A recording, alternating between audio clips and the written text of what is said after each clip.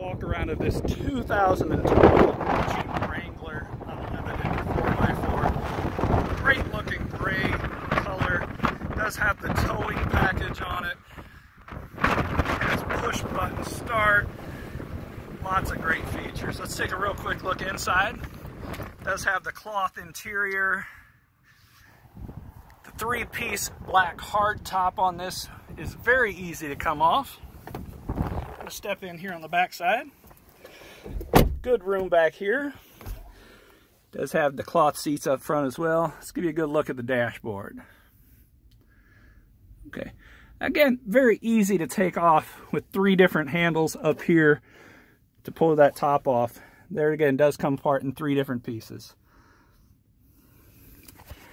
If you have any further questions about this or any of our other vehicles, please feel free to give me a call. My phone number is 641 316 7841. Thank you.